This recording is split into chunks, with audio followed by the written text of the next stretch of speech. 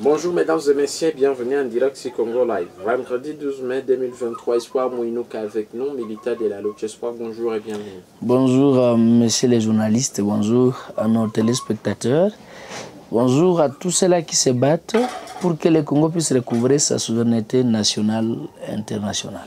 Dans son attitude machiavélique, le président rwandais Paul Kagame a mal digéré l'instauration de l'état de siège, a déclaré le gouverneur du Nord Kivu et le lieutenant général Constant Dima. Comment vous Il peut, il peut avoir raison. Mhm. Vous savez, euh, l'état de siège a essayé quand même de freiner le trafic de minerais. Euh, je crois que c'est à ce plan-là que le gouverneur euh, Ndima a raison, puisque malheureusement aussi le sérieux problème, depuis que l'état de siège a été instauré, ils ne nous ont jamais dit combien de tonnes qu'ils ont un jour interceptées, ils ne nous ont jamais dit combien de trafiquants de minerais qu'ils ont, ont arrêtés. Ça s'est dit que l'état de siège intercepte, ou bien l'état de siège a empêché ce trafic de minerais, mais nous n'avons jamais vu quand même euh, euh, les personnes arrêtées ou bien interceptées, sauf au site Kivu où quand même nous félicitons quand même les services de renseignement militaire qui ont aussi à mettre la main sur les criminels économiques. Mais ici au Nord Kivu, euh, jusque-là, personne n'a un jour été interpellé et nous présenter, voilà, c'est lui le grand trafiquant des minerais. Sauf, on peut se rappeler, avant même l'instauration de l'état de siège, juste au début, où 45 tonnes de castérite, a été, 145 tonnes a été intercepté euh, à la grande barrière, je Après crois. l'arrivée du président Tshisekedi au pouvoir. Effectivement, je crois que c'était le receveur Papi Massoudi qui était encore à la, à la grande barrière. Et donc, euh, pour dire que l'état de siège a travaillé dans ce sens-là. Oui, mais jusque-là, nous n'avons pas encore vu quand même le, le- le- Nous ne savons pas le nombre. S'ils ne veulent pas soit communiquer autour de ça, euh, mais nous n'avons pas encore vu le nombre ou bien la cargaison de matières interceptées par l'état de siège. Euh, voilà. Deux ans de l'état de siège. La guerre de Hardiev, M23 est venue freiner l'élan d'engagement pour la paix au Nord Kivu. Toujours le gouverneur déclare. Bon, en fait, moi, je, je ne suis pas d'accord euh, avec lui sur ce plan, puisque l'état de siège était instauré avant la guerre de 23, voyez-vous. Et l'état de siège avait comme mission d'instaurer l'autorité de l'État, voyez-vous. C'est par après qu'on a entendu que l'état de siège, on a ravi les opérations au gouverneur. euh, D'office, c'était une manière de lever l'état de siège, mais ne voulait pas à l'officialiser, puisque lorsque la principale tombe, la seconde doit nécessairement disparaître, voyez-vous. C'est que bah, le gouverneur ne peut pas justifier leur manque de faire quelque chose à la présence des 1-23, voyez-vous. Euh, dire que non, les 1-23 sont venus freiner euh, la paix ici, oui, quand même, puisque la guerre doit toujours troubler la paix, voyez-vous. Mais normalement, les militaires, comme la gouvernance militaire, devraient se montrer comme la gouvernance militaire. Savez-vous que euh, moi, je ne peux pas dire que si les 1-23, comme on a freiné les 1-23, c'est grâce à l'état de siège. Non, c'est grâce à la mobilisation populaire. Donc tout le monde, on a contribué, tout le monde est venu avec sa pierre pour mettre à l'édifice. Et c'est comme ça qu'on a mis en déroute les 1-23. Mais on ne peut pas dire que c'est l'état de siège qui a gagné la guerre des 23. C'est la population d'ailleurs, ce n'est pas l'armée. C'est la population ensemble. ah, C'est que l'armée et la population ont gagné cette guerre. Alors, vers un divorce euh, apparemment entre euh, Kinshasa et l'EAC, comment vous trouvez cela? Parce qu'en partant, suivant les discours euh, qu'a tenu le président Tshisekedi, il y a lieu de croire que euh, d'ici juin, le mandat ne sera pas donc renouvelé. C'est les vœux de la population. Vous avez vu comment est-ce que nous, on barrait route, euh, l'EAC. Mais le sérieux problème, c'est que pourquoi nos autorités se réveillent toujours avec un grand retard? C'est dit à quoi? Pourquoi ils ne veulent pas suivre ce que disent euh, les mouvements des sociétés civiles et d'autres structures, des jeunes, y compris même certains politiciens aussi. Pourquoi notre gouvernement, ils veulent toujours, il faut aller, c'est par après qu'ils vont vont se réveiller avec un grand retard. Nous, quand on disait que l'EAC euh, est infiltré, que l'EAC n'est pas venu pour la cause congolaise, mais l'EAC est venu pour la cause rwandaise et la cause occidentale, personne ne nous comprenait. Mais aujourd'hui, quand même, vaut mieux tard que jamais. Nous sommes contents que le chef de l'État ait reconnu cette opacité et cette passivité de cette force euh, inutile de l'EAC. Donc pour vous, l'EAC doit partir. À degré ou de force, nous on le disait, et je prends notre, nos téléspectateurs à témoin, nous on le disait que l'EAC doit partir degré ou de force. Et heureusement, le chef de l'État a compris. C'est qu'il faut, il faut accélérer les retraits. Ils doivent rentrer, faute de quoi nous allons utiliser tout ce qui est à notre pouvoir pour les faire partir. Et s'ils ne rentrent pas chez eux? Non, nous, ils ne peuvent pas refuser de rentrer, sinon la terre va se dé- déchirer, les engloutir. Mais oui, comment ça? C'est simple, Cette terre est là où on est ici. effectivement. Mais la terre ici représente la population congolaise. Et la population congolaise peut les encercler d'un moment à l'autre. C'est qu'ils ont, ils ont- euh, non, nous avons toute une force. Mais nous sommes sur une terre nous léguée par les dieux tout-puissants, Père créateur du ciel et de la terre. Et ça, ça, ça, c'est une terre bénie, attention. C'est une terre bénie. Et euh, je n'ose même pas croire qu'un étranger peut imposer sa loi sur cette terre. Je ne le crois pas. C'est pourquoi nous nous disons toujours, ne l'oublierai- je ne l'oublierai jamais, c'est une guerre populaire. Et tous nous devons concourir pour en finir une fois pour toutes. Et en finir une fois pour toutes, c'est de faire partir toutes ces armées étrangères, équiper notre armée, notre police, refonder notre service de renseignement, puisque nous avons une service de un service de renseignement amorphe et anéanti. Voyez-vous, il faut refonder notre service de renseignement, équiper notre armée, équiper notre police et nous allons en finir une fois pour toutes. Et aussi initier la jeunesse à la manipulation et l'utilisation des armes de n'importe quelle catégorie, quelle qualité. Mais ça ça sera pas facile, hein C'est très facile si nous avons les autorités qui comprennent. En fait, c'est puisque euh, ce n'est pas moi qui donne, euh, ce n'est pas mon avis que le chef de l'État peut comprendre. Mais si c'est moi qui conseillerais le chef de l'État, je dirais au chef de l'État de prendre le général de la police ici, euh, François-Xavier Kongba, euh, le, célèbre euh, lichette, comme on l'appelle ici. En fait, c'est un papa révolutionnaire et moi, je le nommerai comme ministre de la Défense ou bien je le nommerai Qui euh, le général ici de la police. Abavan, Abba- le ah, voilà. divisionnaire. Voilà. Abavan Ang, voilà. François-Xavier Abavan. Euh, C'est François-Xavier Abavan Ang, voilà. Moi, je le nommerai soit comme chef d'état-major, ou bien comme ministre de la Défense, ou bien comme... euh, ou bien, ou bien, voilà, si- c'est moi, moi j'ai dit si c'est si que moi, si c'est moi qui conseillerais le chef de l'État, moi je le dirais de nommer. Ou ça, il a, il a, c'est lui. Et d'ailleurs, s'il faut dire des mérites que la ville de Goma n'a pas été arrê- à- à- à menacée, c'est grâce à lui. C'est tout simplement puisqu'il a tenu des bons discours qui a réveillé la jeunesse. Et les M23 avaient peur de venir dans la ville de Goma. Parce qu'ils savaient s'ils osaient venir, la jeunesse était préparée, voyez-vous. C'est que si c'était moi qui dirais au chef de Vous l'État. saluez le fait qu'il a appelé aux violences. Il n'a pas appelé aux violences, il a appelé tout simplement au réveil populaire. Il a appelé les jeunes de se réveiller. Il a dit aux jeunes, savez-vous, votre pays est en danger. Et si vous acceptez de dormir, que l'ennemi vous rencontre dans vos lits, on va vous égorger, voyez-vous. Et il a fait un devoir salitaire. Il est venu, il est... Et d'ailleurs, moi, lorsque j'avais entendu ces propos, j'ai vu en lui Mousé Laurent Désiré Kabila, j'ai vu en lui Lumumba, voyez-vous. Et c'était moi qui conseillais le chef de l'État, je le C'est nommerai. lui qui a fait appeler aux jeunes d'acheter des machettes. Euh, mais, mais... C'était lui, c'est ça?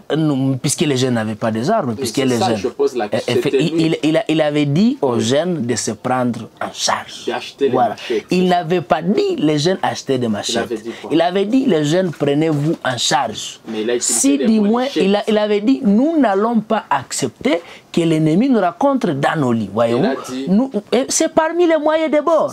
C'est pas. on Vous savez. On sait, on comprend. Oui. Il avait dit C'est pas. Voilà, prenez ça pour vous protéger. Machettes, Mais c'est simple. Et les jeunes ont acheté ça. Prenez ça pour. Mais qu'est-ce qu'il fallait faire? Mais comme l'ennemi n'est pas venu dans la ville, on garde toujours jalousement. Ah. Mais oui. Tiana aussi. Mais pourquoi manquer? Pourquoi manquer?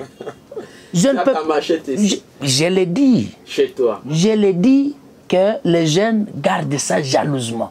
Et on ne peut pas accepter Ah, donc C'était que on ne peut pas accepter que l'ennemi nous raconte dans nos maisons. Non. Et je crois le, le, le, le général, le premier général, le général-major euh, Abba Van Hang, euh, c'est quelqu'un à qui cette ville reconnaît des mérites. Puisque c'est grâce à lui Oui, que la la ville oui, il est, et, et ça, on- il faut aussi dire, c'est parmi les grands, les grands, les grands, euh, je ne sais pas co- co- co- comment dire, mais c'est parmi les personnes qui nous ont violemment réprimés, voyez-vous? Je vous dis, c'est parmi les personnes qui nous ont traqués comme vous ne le croyez pas, Ouais. qui nous ont matraqués comme vous. Moi, je me rappelle quand on m'avait arrêté en 2000, euh, ici en 2021. Euh, quand nous sommes partis à Mounzenze, qu'est-ce qu'il avait dit? Mais qui est aspirine? Qui Il est où? Toi, tu crois pas? En fait, on avait compris. Mais quand même, du fait pas, c'est pas puisqu'il est. C'était aspirine, c'est ça. Euh, oui, c'est Ah, pas, pas puisqu'il est, il est, il est colérique ou bien il est. euh, il, est. Parce que violer également l'état des sièges, ça veut dire l'état des c'est- sièges, les c'est- bon, manifestations. cela ne peut pas causer qu'on ne puisse pas reconnaître quand même ses mérites, voyez-vous. Alors non, on ne peut pas, on ne peut pas interdire à une population de manifester, même que ça soit la Constitution même le dit. Il y a les droits fondamentaux de l'homme doivent être respectés à n'importe quelle situation, voyez-vous. Non, pas Alors, oui, même pendant l'état des sièges, là, spéciale. Effectivement, quoi que ça soit spécial ou pas, et même l'arrêté portant euh, état des sièges, euh, ça ne souligne nulle part que les Ça, droits. pour la Effectivement, mais ça ne souligne nulle part que les droits fondamentaux de l'homme ne soient plus respectés. Parmi les droits fondamentaux de l'homme, il y a la liberté d'expression. voyez-vous, la liberté d'expression. Alors, si c'est moi qui conseillerais au chef de l'État, moi je lui dirais de nommer Bon. le général, soit comme, mini- comme ministre de la Défense, comme conseiller spécial en matière sécuritaire, puisque c'est un ancien, c'est un ancien, euh, euh, je, ne sais pas si c'est un ancien rebelle, mais je sais que c'est un ancien militaire, et puis il a, on l'avait mis de la police. Mais c'était moi, il faut qu'il rentre dans l'armée, ou bien soit, si pas dans l'armée, qu'il soit ministre de la Défense, qu'il soit conseiller spécial en matière sécuritaire, ou bien qu'il soit euh, le chef d'état-major, puisqu'il D'accord. mérite. La force de la communauté est-africaine est assez déployée au nord Kivu, dans le- l'est du Congo. Repos critique du président Tshisekedi.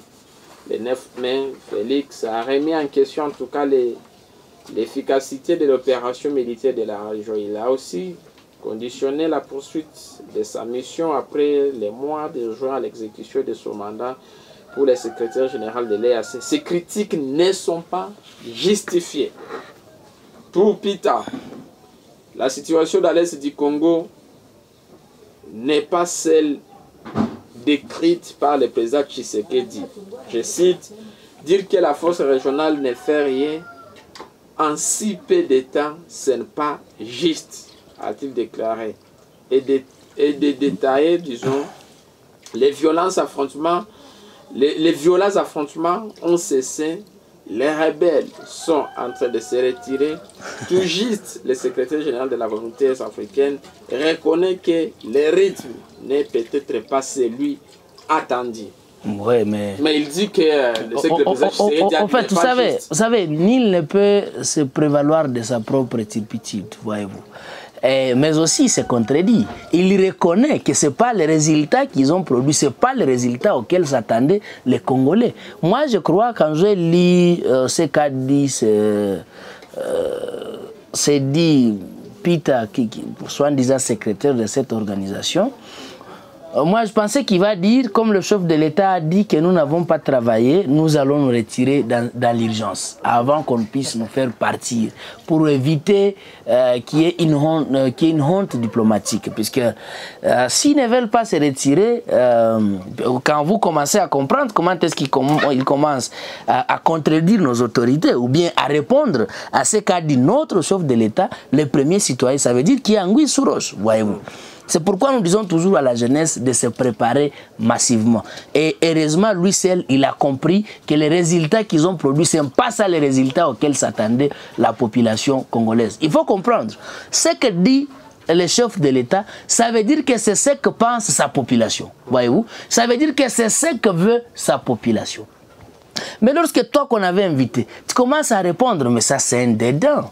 Ça, c'est nous dédaigner, nous, la population congolaise, voyez-vous. Et ça doit révolter tout citoyen congolais. Nous devons nous faire respecter. Et les, et les voisins doivent, doivent nous respecter si et seulement si ils ont vu que nous sommes tellement déterminés. Malheureusement, certaines personnes, ils travaillent à contre-courant, voyez-vous. Ils travaillent à contre-courant. euh, et c'est la course au pouvoir seulement, voyez-vous, sans vouloir que cette région ait une nouvelle philosophie.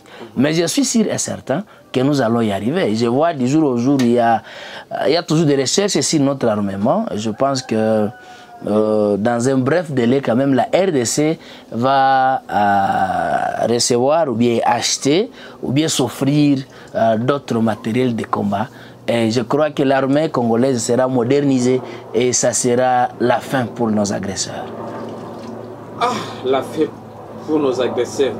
À quand cette fin Non, cette fin, euh, ça s'annonce dans le sens où, euh, quand même, si le plan national, international, les Congolais ont pris conscience et tous ceux-là qui aiment la région des Grands Lacs ont pris conscience. Euh, et je crois les Incontagni, euh, ils, sont, ils, sont, ils sont entrés aussi dessus la question de près et de loin et ils sentent et ils comprennent que quand même euh, la jeunesse est mobilisée pour mettre fin à leur régime d'agresseurs et qu'il faut, il faut qu'il y ait une autre philosophie dans cette région des Grands Lacs. Et la philosophie va reposer sur euh, le vivre ensemble, l'économie du bonheur partagé, la paix et la sécurité. Vous avez suivi Bemba en Indonésie. Oui, on a vu même ces images quand il essayait euh, une arme sophistiquée de la de- dernière génération. oui. Ça fait peur ailleurs. Ça fait peur ailleurs, mais euh, je vis quand même certains citoyens euh, vouloir critiquer l'acte posé par Bemba quand il essayait une arme. Comme si Euh, je- je- crois que c'était- Non, c'est- c'est comme s'il connaît. C'est un ancien, c'est un ancien militaire, c'est un ancien Ah. militaire, oui. Et il doit quand même maîtriser la qualité, la, mauvaise, la bonne et la mauvaise qualité euh, d'une arme, surtout de la cinquième génération, voyez-vous. Ça, c'est pour la cinquième génération. Effectivement. Toi, tu connais déjà les, les, les, les séries de, de, de- des Non, hein? il faut, il faut, il faut. En fait, vous savez, quand on est nous, nous, nous, nous ne sommes pas, nous ne sommes pas les citoyens de la dernière pluie. Donc, non. ce sont, ce sont de telles armes que les Amonisco avaient dit que la monnaie. les- Les 1-23 détenaient. Détenaient, Non, c'était faux, c'était une campagne. C'était une campagne. Est-ce que les gens qui détenaient des armes de la dernière génération devraient souhaiter prendre la ville, la ville qui était sécurisée par des jeunes qui avaient ne fût-ce que 4 ou 5 machettes et quelques lance-pierres? Non. C'était faux une campagne menée par ce vieux euh, Antonio Guterres, uniquement que pour nous terrifier. Heureusement, il avait reçu la réponse de monsieur, euh, un autre vieux, euh, le- général Abba Van Hank. Alors, c'est que c'était une campagne et une campagne qui ne pouvait pas nous terrifier nous autres et c'est pourquoi nous tenons toujours debout.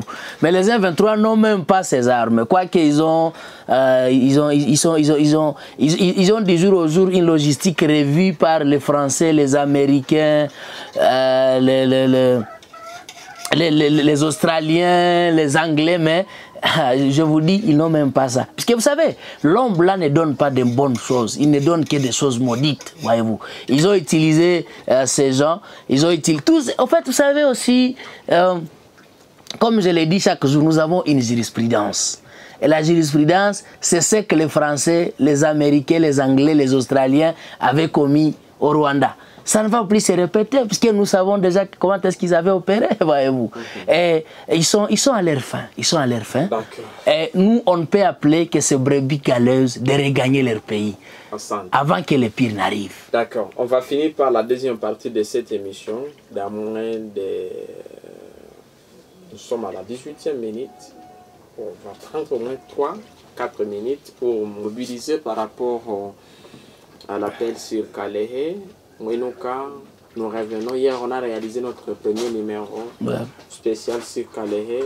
On décide aujourd'hui aussi de faire passer un message à travers cette interview, cette Ouais. émission également. Comment parle-nous, euh, revient un peu sur euh, cette mobilisation qu'on a lancée hier. En fait, nous, nous sommes d'abord contents pour les appels qu'on a hier. Il y a un compatriote qui est euh, dans notre diaspora qui nous a appelé, euh, qui nous a demandé de quoi s'agit-il, est-ce que je peux l'expliquer? Quand même, je l'ai expliqué. Oui. Et il a promis de revenir vers nous, peut-être qu'il va appeler d'un moment à l'autre. Euh, en fait, notre campagne consiste à récolter les vivres et non-vivres pour assister nos compatriotes de Calais, victimes euh, du catastrophe naturelle qui s'est produite euh, euh, à Calais à, travers à cause d'une pluie torrentielle qui s'est bâtie euh, sur Calais. En fait, nos compatriotes de Calais ont perdu tout ce qu'ils avaient. Nos compatriotes de Calais ont perdu leurs êtres chers.